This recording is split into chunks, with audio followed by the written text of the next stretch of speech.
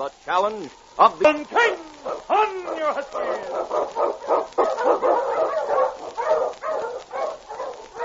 The Wonder Dog King, swiftest and strongest of Eskimo lead dogs, blazes the trail through storm and snow for Sergeant Preston as he meets the challenge of the Yukon.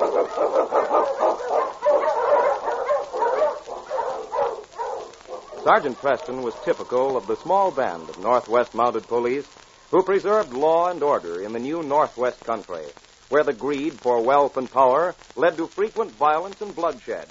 But in spite of the odds against them, Sergeant Preston and his Wonder Dog King met that challenge, and justice ruled triumphant.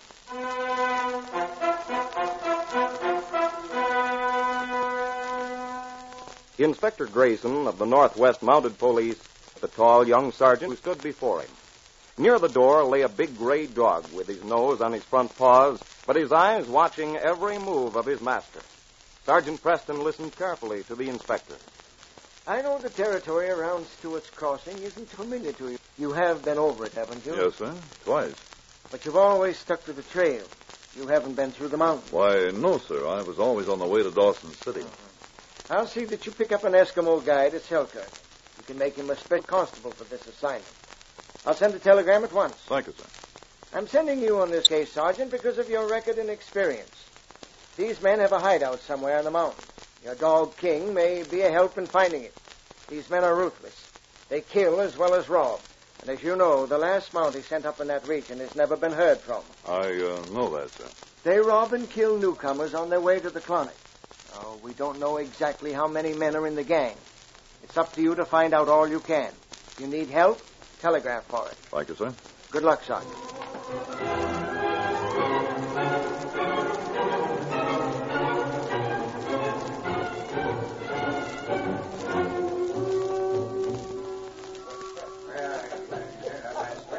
In a bar at Selkirk, Ulak, the best Eskimo guide in the territory, smiled proudly as he talked to a group of men around him. Me proud be special constable. You have every right to be, Ulak. You're sure going to be guide to a top-notch Mountie. Sergeant Preston. Him smart. Him catch killers. With him on the job, them dirty rats in the hills will be cleaned out in no time. Who's Sergeant Preston? Why, he's one of the best-known Mounties in the Northwest. He's got a dog that's as good as another Mountie. His name's King. Him got good dog team, too. I don't see how a dog can help him much. You've never seen a dog like this one. Preston spent years tinging. Plenty of men have tried to kill Preston. But they can't do it with King around. Funny, I never heard of him. He ain't been stationed around here much. I knew him up in Dawson. I saw a man pull a gun on the sergeant once, but before he even pulled the trigger, that dog was on him. Clamped his jaws on that man's wrist like a steel vise. He sure dropped that shooting iron in a hurry. Aren't you afraid to try tracing these robbers, Ulak? From uh, what I hear, they're plenty tough. Me not afraid. Me know all mountain territory. With Duloc and that dog of his, Preston has a good chance of rounding them all up. Nobody's safe on that trail anymore. I sure hope he gets every one of them. Thieving murderers. We get him. Uh, when's this Sergeant Preston planning to get here? Uh, him come down from Dawson. It'll take him about five days, I should think. Why, Rourke? You plan to join up with the mounted police? No. I'd um, like to see this wonder dog of his. Telegram say him meet me at mounted police headquarters here in Selkirk. Well, maybe I'll come back to town in about five days. Well, boys, I've got to get going. Uh, you're staying in town a few days, ain't you, Rourke? No, I changed my mind. See you in a week or so. Has he got a claim around here somewhere? A Rourke? Uh, sure. I, I don't know just where it is. Up in the mountains somewhere, I think.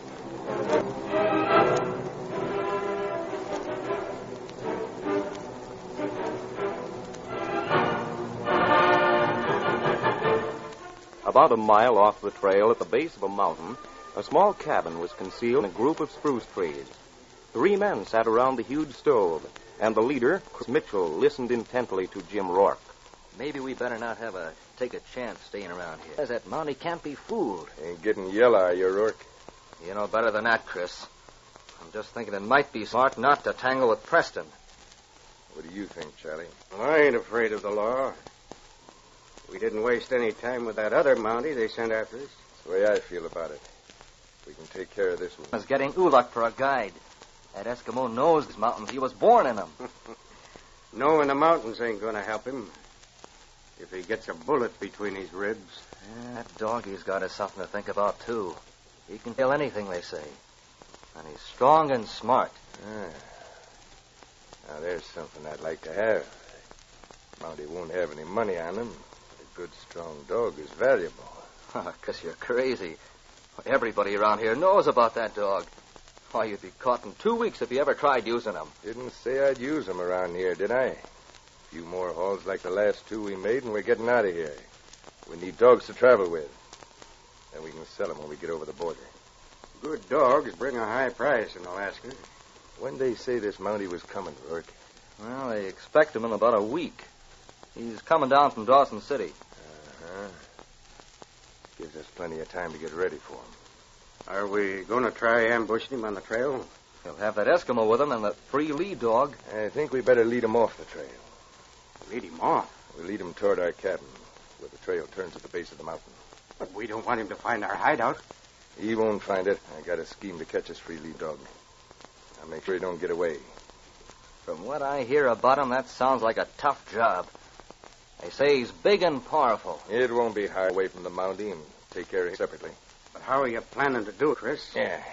See what you think of this. Remember that big pit we found that the Eskimos dug to catch bear? You mean the one about a mile off the trail? Yeah. We put branches over it, covered with snow. There's a pile of rocks near it where we can hide. We leave a trail that they can follow that leads over it. Preston's lead dog goes ahead, following our scent, he'll break through. While Preston and the Eskimo are getting them out of the pit, we'll do our shoot from the rocks. Hmm, sounds if it might work. But maybe he won't follow the tracks off the trail. Just what he'll be looking for, won't he? He doesn't know we expect him around here. It sure was lucky you bumped into that Eskimo in the bar last night. He'll follow the tracks all right. And tomorrow we'll go down and fix that pit. Cover He won't be here for almost a week. We get it fixed tomorrow so it'll be covered with snow. Should get a good snowstorm between now and when he gets here. Then we lay low for a few days and start watching the trail about Friday. That Mounty's going to get a reception he didn't expect.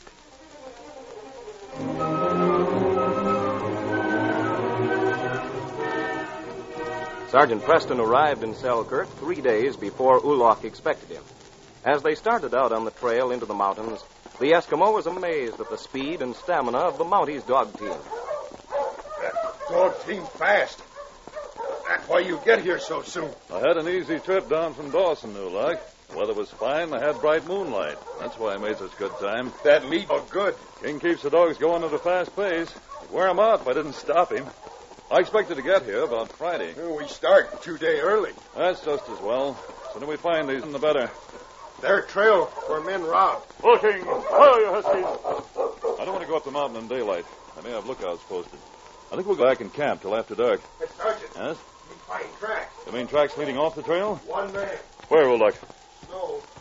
Partly cover them. Yes, you're right, Uluk. Someone went off the trail here where it turns up the mountain.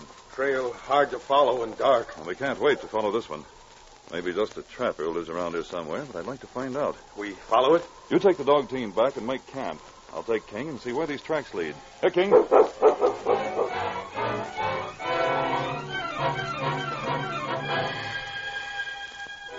Preston and King had difficulty following the tracks that had been covered by a light snowfall the night before. About a mile from the mountain trail, Preston, following behind the big dog, suddenly heard a crash of breaking branches. King struggled a moment, then disappeared into the pit as Preston rushed to the edge of it. King, King, old fellow. Do not hurt, are you, boy? Wait till I get some of these branches off. I'll get you out. Here's your leash, boy. Take it. Now, hang on, fella. I'll pull you out. I'll get hold of your collar. There you are, boy. You're out. Now, let's see. Your legs all right? Well, lucky you weren't hurt. That hole was deep. Come on, fellas. Getting dark. We're going back and find Uluk.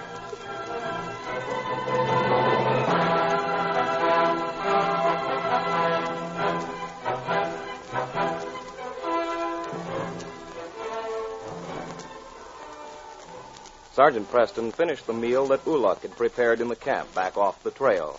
The Mountie was still puzzled about the covered trap into which King had fallen. The only explanation I can see is that someone, expecting to be followed, laid a trap like that to slow up whoever was after him. It's not used in winter for animals. Bear sleeps for winter. Yes. Those branches were fresh, so it's been covered recently.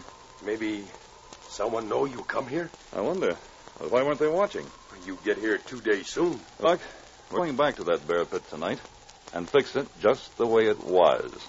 We'll cover it with starting to snow now, and by morning, our tracks and branches will be covered. I'll camp somewhere overlooking the trap, and we'll see who comes to look at it tomorrow.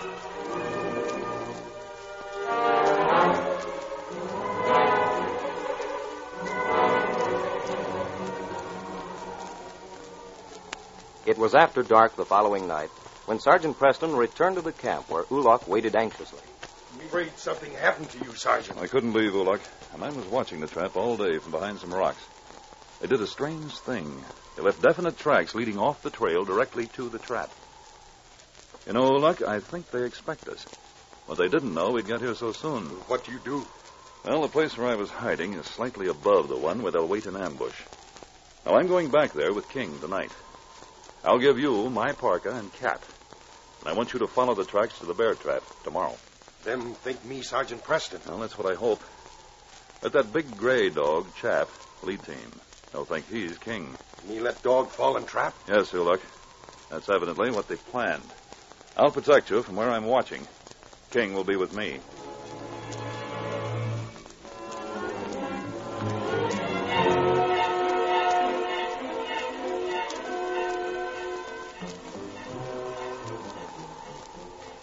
It was daylight, and Chris, Charlie, and Rourke crouched behind the rocks that overlooked the covered trap. You sure you saw the Mountie coming along the trail, Rourke? It must have been him. He was wearing the same fur hat all the Mounties wear. And a big gray dog is leading the team. Well, what do you think happened to the Eskimo guide? Maybe he didn't use him. No, look. You're right. There he comes. I knew he'd follow that trail we made. Yeah, it's him all right. Now, as soon as that lead dog falls into the pit, I'll let him have it. Now, wait till he starts tearing away the branches and edge. We sure broke the trail for him. He's making good time. There he goes. That lead dog is almost up to the trap. He's breaking through. Now, wait now. Mountie's bending over. I get a bead on him. Don't fire that gun. Uh, Where did you No, you don't. Get him, King. Keep your hands up, you two. No, my arm. Take him off. Help. Take his dog away. Look, King. All right, boy. I'll get his gun. Now, stand up there with the others. Oh, my arm. You're all under arrest. He ain't a Mountie. I'm not in full uniform, but I am a Mountie. Sergeant Preston. You all right? Yes. We've caught the men we're looking for, Uluk. That, that man there. Him man I talked to in bar before you come. Oh? His name Rourke. You're crazy, Eskimo. So that's how they knew we were coming. Here, look. Handcuff them together. Watch them, King.